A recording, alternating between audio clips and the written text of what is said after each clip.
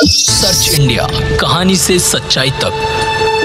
Delhi NCR समेत फिर लौटेगी ज़बरदस्त ठंड शीतलहर से कापेगा उत्तर भारत। आइए जानते हैं मौसम का बड़ा अपडेट इस खबर में। जम्मू कश्मीर हिमाचल और उत्तराखंड में भारी बर्फबारी के चलते दिल्ली समेत उत्तर भारत में ठंड बढ़ सकती है। हरियाणा और चंडीगढ़ में स्कूल 21 जनवरी तक बंद कर दिए गए हैं। दिल्ली एनसीआर में ठंड से कुछ राहत है, लेकिन मौसम विभाग के मुताबिक जल्द ही शीतलहर का एक नया दौर शुरू हो सकता है। जम्मू कश्मीर हिमाचल और उत्तराखंड में भारी बर्फबारी हो रही है, जिसका असर दिल्ली एनसीआर समेत उत्तर भारत में पड़ सकता है। हरियाणा सरकार ने 21 जनवरी तक छुट्टियाँ बढ़ा दी गई।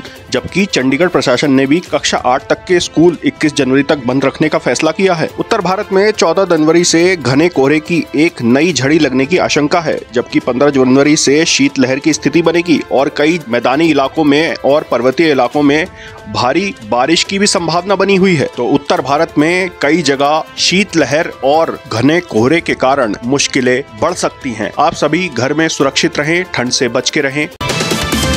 सर्च इंडिया कहानी से सच्चाई तक।